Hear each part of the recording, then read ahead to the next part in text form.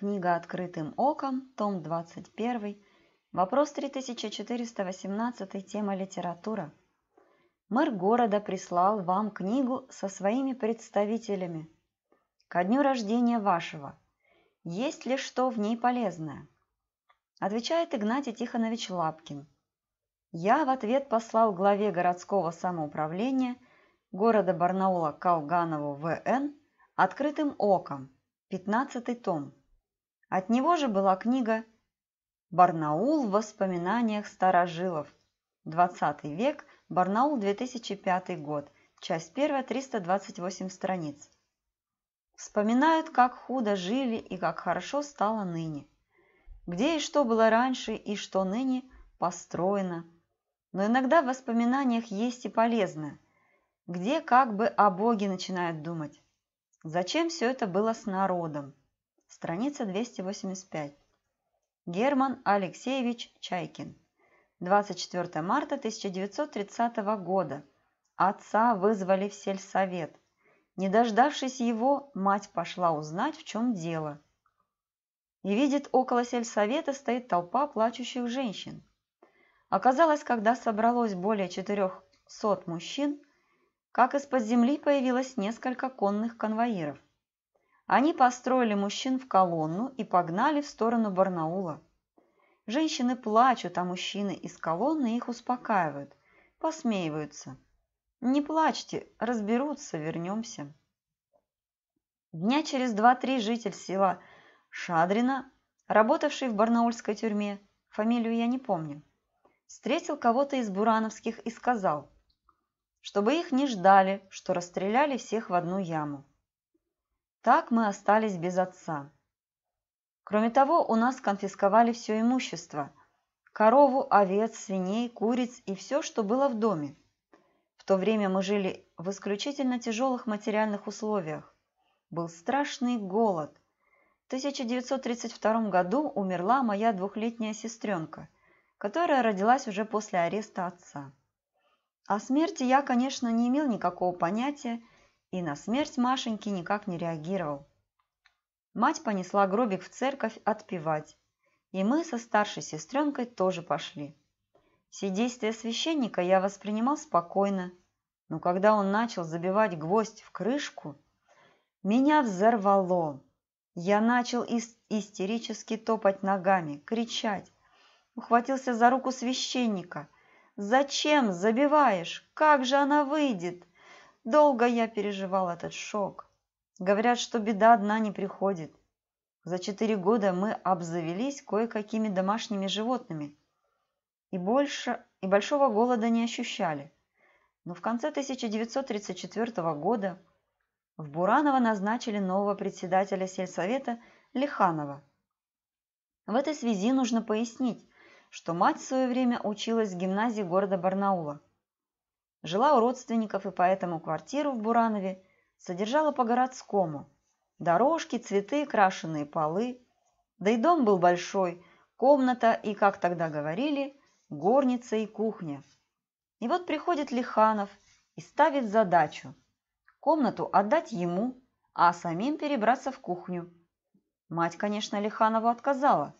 Он тут же оформляет документы на раскулачивание.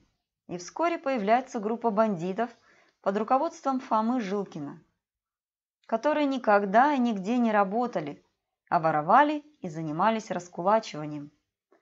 И они забрали у нас всю скотину. Матери дома не было, она поехала в Новосибирск. Пришел Лиханов с бандой Жилкина и силой выгнали нас на улицу. А мороз был трескучий, далеко за 40 градусов. Напротив, через дорогу жила старушка Добрикова. У нее была крошечная избушка. Мы пришли к ней, и она нас, конечно же, пустила. В избушке было очень тесно, поэтому мы спали на полу на каких-то тряпках. Что делать? Ни продуктов, ни жилья. А о деньгах тогда понятия не имели. Вскоре мать приезжает из Новосибирска. А в нашем доме уже живет семья Лиханова. Мать идет в сельсовет, а Лиханов как раз там. Что в такой ситуации она могла сделать? Мать говорит Лиханову, что пойдет к, секретарю райкома партии в Каменку. а это 17 километров.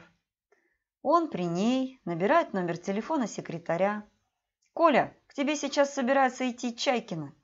Так ты ее прими, как положено».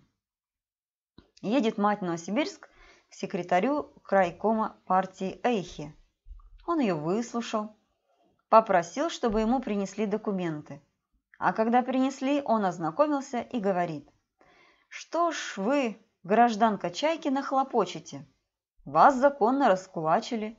Вы же имели двухпоставную мельницу». «Какую мельницу? У нас в деревне вообще нет никакой мельницы». Эйхи набирает какой-то номер телефона и задает вопрос. Когда он удостоверился, что действительно никакой мельницы нет, то помог матери оформить документы в суд на Лиханова. Присудили Лиханову 10 лет. Он был направлен на лесозаработки, на лесоразработки. А там оказались заключенные, которых он в свое время раскулачил по фальшивым документам. В тот же день его убили. Пока мать моталась по инстанциям, наш дом разграбили, рамы по повыставили, повыставили, двери поснимали, погреб и подполье опустошили.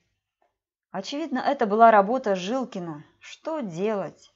Уехали в Барнаул к родственникам. В течение многих веков хлеб выпекали сами его потребители. И лишь нищие получали его как милостыню. Когда меня посылали в магазин за хлебом, то я воспринимал получение хлеба из рук продавца как подаяние, как милостыню. Автомобилей в то время не было. Если кто-то из мальчишек говорил, что он видел автомашину – на него усмотрели как на героя. В городе было много голубятников, и процветал голубиный бизнес. Они зарабатывали большие деньги.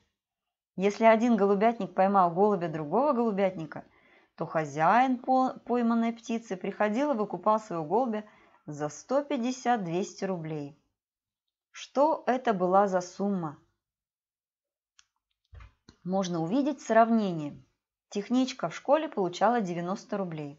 На улице Косой взвоз жили три голубятника, и их знал весь город. Некоторое время жили мы на улице Мамонтова вблизи Нагорного парка. В XIX веке на территории этого парка было кладбище, где хоронили только богатых. На кладбище было много гранитных, мраморных надгробных сооружений. Летом 1935 года мы, мальчишки, да и взрослые, оказались свидетелями вскрытие склепов для извлечения драгоценностей, с которыми когда-то хоронили умерших. Вскрытие склепов проводили специальные комиссии в составе охраны, милиция и гражданских людей, которые извлекали из могил золотые предметы – перстни, кольца, зубы, коронки, браслеты и другие драгоценности. Члены комиссии внимательно рассматривали поднятые из могилы предметы. Один из них очищал а стоящие рядом два-три человека записывали что-то в журнал и складывали в шкатулки. Могилы так и оставались незакрытыми, а после ухода комиссии работу продолжала ребятня. Мальчишки вынимали из могил кости, черепа, которые потом валялись повсюду, не только на кладбище, но и на улицах. Вскрытие Нагорного кладбища провели в течение одного лета. В начале 1930-х годов в Барнаул, Барнауле было много церквей. Впоследствии их стали разрушать. В 1937 году я учился в четвертом классе, школа номер пять, в районе нынешнего речного вокзала. Однажды во время урока слышим на улице команду «Раз, два, взяли!» Все ученики повскакивали со своих мест и прильнули к окнам. Около школы стояла украшающая площадь церковь. В 1960 году в ней был архив, а сейчас женский монастырь. Так вот, увидели мы следующее. За крест на колокольне привязаны веревки, множество людей по команде дергает за них, раскачивая колокольню. Все радовались, и было много желающих дернуть за веревку. Крест дергали много раз пока колокольня наконец не рухнула на землю с такой силой и грохотом, что здание школы задрожало. Так что и революция, 37 год, все на своем месте, когда вздернули многих дергальщиков и раскулачивателей. Осии 8-7. Так как они сеяли ветер, то и пожнут бурю хлеба на корню не будет у него. Зерно не даст муки, а если и даст, то чужие проглотят ее. Мы лежим на холодном и грязном полу, присужденные к вечной тюрьме, и упорно и долго глядим в полумглу. Ничего, ничего в этой тьме, только зыбкие отцветы бледных лампад с потолка устремляются вниз, только длинные шаткие тени дрожат, протянулись, качнулись, слились. Позабыты своими друзьями в стране, где лишь варвары-звери до ночь, мы забыли о солнце, звездах, луне, и никто нам не может помочь. Нас томительно стиснули стены тюрьмы, нас железное давит кольцо. И как духи чумы, как рождение тьмы, мы не видим друг друга в лицо. Константин Бальмонт